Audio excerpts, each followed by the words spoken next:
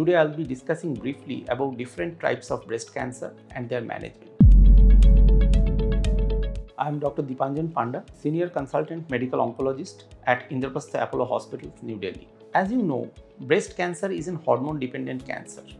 It expresses estrogen and progesterone hormone receptor on their cell surface. There is also an expression of epidermal growth factor receptors or HER2 receptors. Depending on these expressions, we can broadly differentiate breast cancer into four major groups, namely the estrogen receptor positive group, which is luminal A, second is luminal B, third is HER2 positive, and fourth is basal type which is mostly triple negative breast cancer which does not express any hormones. The hormone positive breast cancers is usually treated with surgery, radiation therapy, chemotherapy and hormone therapy. Whereas a HER2 positive breast cancer in addition to these treatment also received anti-HER2 monoclonal antibody treatment. A triple negative breast cancer unfortunately does not express any hormones and so hormone therapy does not affect in this particular type of cancer and only chemotherapy is a treatment of choice. Detected early, a localized breast cancer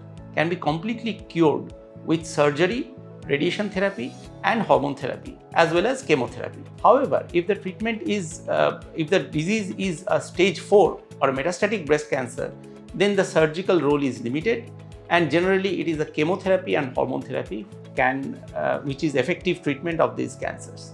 Depending on the type of breast cancer, the treatment also differs, especially in advanced breast cancer. Whereas in hormone positive breast cancer, we generally, for a localized treatment, we do surgery followed by chemotherapy, radiation therapy, and then hormone therapy.